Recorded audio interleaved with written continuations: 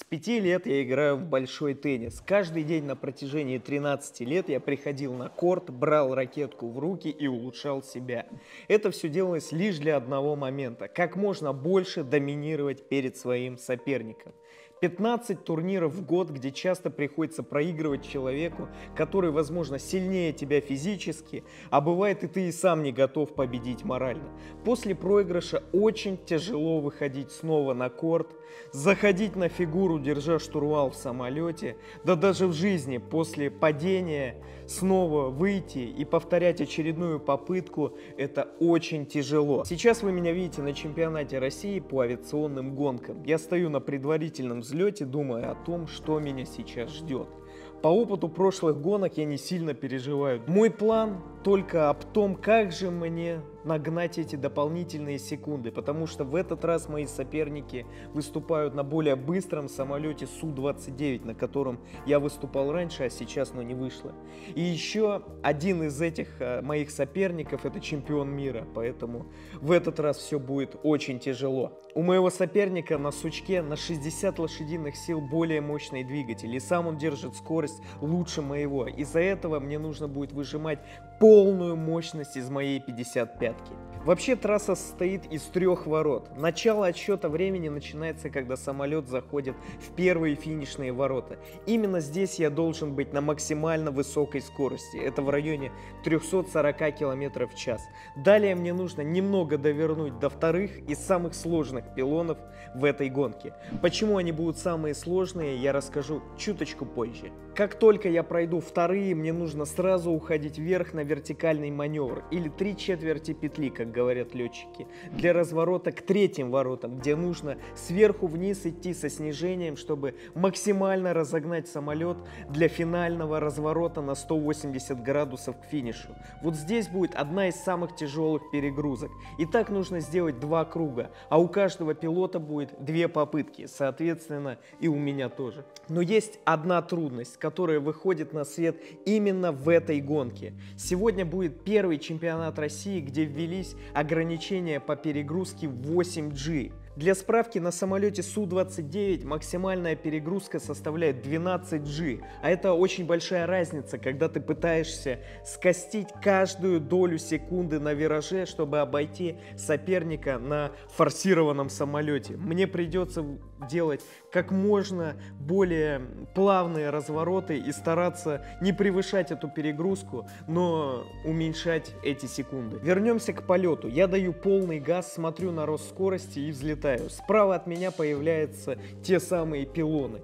Эту трассу все пилоты авиагонок уже пролетели за день до сегодняшнего вылета. Все было в принципе знакомо и спокойно.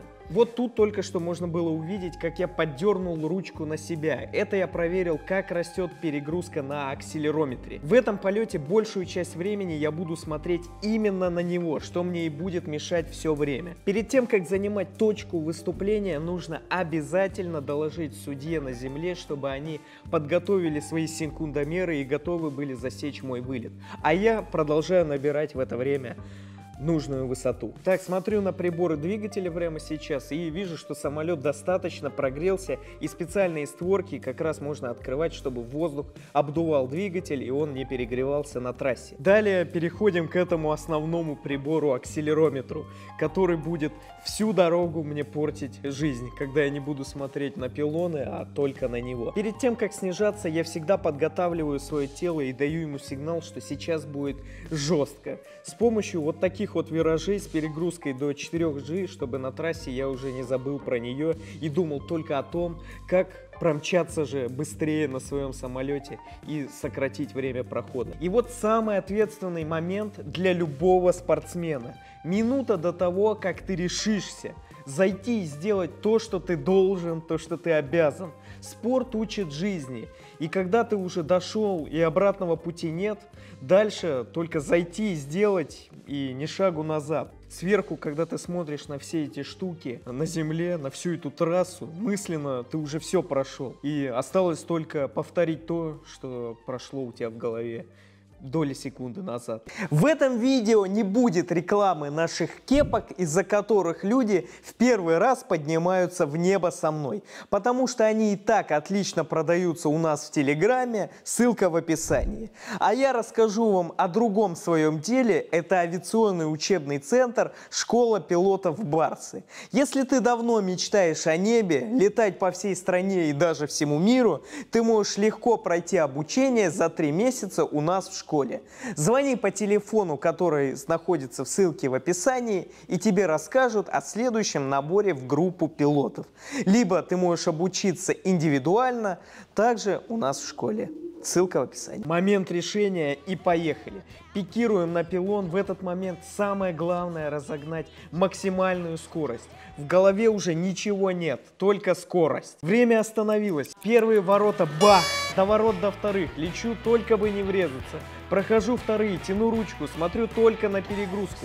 И вот он, момент на пределе. Развернулся, спереди наблюдаю ворота, полный газ на рудах. Смотрю с ненавистью на эти торчащие земли башни. И самый резкий разворот с минимальным радиусом. Тут главное попасть в ворота, главное попасть в ворота и не превысить перегрузку. Еще пару секунд и все, еще пару секунд и все. Прошел первый круг. И вот она моя ошибка, где я раньше времени начал за ворот до пилонов и получил штраф, который выбил меня со второго места. Тут я уже понимаю, что все пошло не так, как хотелось, но закончить трассу с меньшим количеством времени это уже как рефлекс у собаки. Я до последнего надеялся, что вдруг судьи не заметят мою оплошность, но все ошибки, которые сделаны в воздухе, их сразу же видно на земле и этого никак не избежать. Здесь у нас планируется по заходу вторая попытка и второй шанс для меня для реабилитации. Но в этот раз я отвлекаюсь на самых первых воротах и, смотря на эту осточертевшую перегрузку, я начал снова заворачивать слишком рано. Этот заход был гораздо быстрее для того, чтобы возместить упущенное время. Но, к сожалению, эти новые правила по перегрузкам, по моему мнению, не добавляют вообще никакой безопасности к полетам, учетом, а только лишь ухудшают концентрацию на самом прохождении трассы. И вот, как вы видите сейчас, я сделал ровно две ошибки в одинаково абсолютных местах. Поэтому, к сожалению, с первого места я улетаю домой в конец.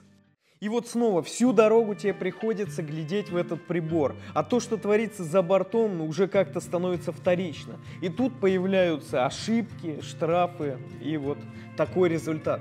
Но это ладно, у меня просто ошибка по неправильному прохождению ворот.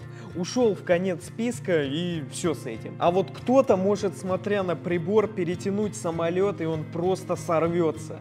Как вот в этом варианте с пилотами Red Bull Air Race, которые вы можете увидеть. Это может быть очень опасно. Друзья, я настоятельно советую организаторам и всем судьям гонок убрать это опасное правило. Его никто не любит из летающих пилотов, поэтому...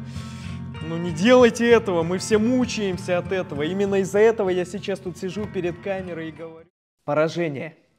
В этот момент проигрыша человек часто придумывает для себя самого историю по типу, что пришло время больше не заниматься своим любимым делом.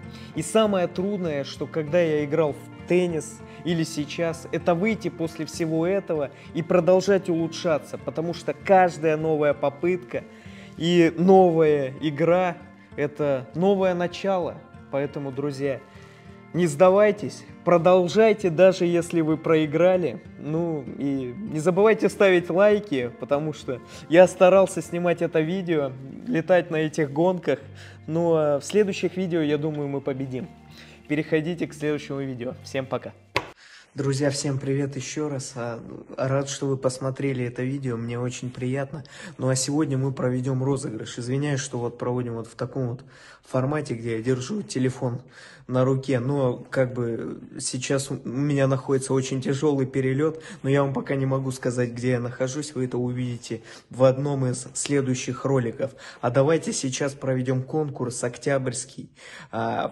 Тех людей, кто победил у нас в конкурсе кепок и проведет целый день со мной и полетает, ну, или со мной, или с другим членом пилотажной группы Барсы, например, там, со Снежаной, с Дашей, ну, короче говоря, вы сами все поняли. Давайте вот сейчас вот здесь вот появится наш победитель. Давайте 3, 2, 1, и победитель появился. Поздравляем, напиши нашему менеджеру и отеле, и он как бы расскажет, как полетать с нами. Поэтому ждем, покупайте кепки. Спасибо большое, что поддерживаете.